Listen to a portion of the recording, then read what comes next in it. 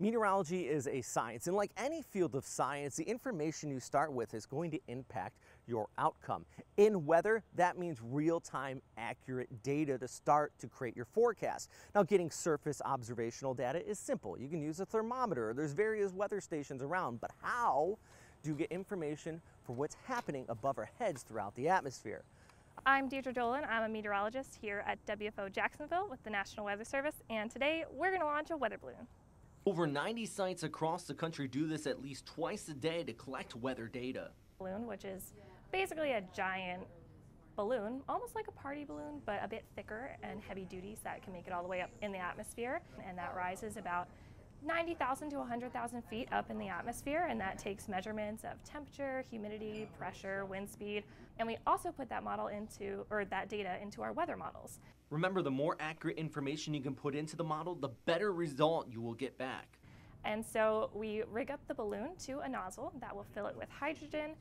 So now she's filling up the balloon with hydrogen. As this sign shows over here, it is very flammable. So thus, no phones or electronics inside the balloon house.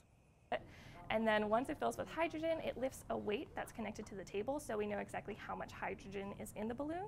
And then once it lifts, it will automatically shut off and then we can shut off the hydrogen and safely tie off the balloon for launch. Now time for the fun part. Attached to the balloon is a 100 foot cord and attached to that is the radiosonde carrying all those important weather sensors. Here we go.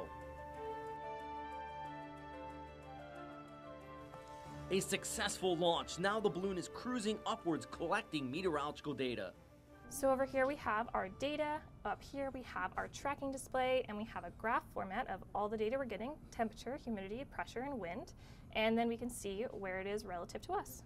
The balloon does eventually pop and the radiosonde falls back to Earth via a parachute. And yes, sometimes it can fall into your backyard. So what should you do? It's not dangerous at all, and that's the point of the parachute is to slow it down, so it's not dangerous to anything, it won't cause any damage, but it is labeled on the side, National Weather Service instrument, do not be afraid, this is completely safe.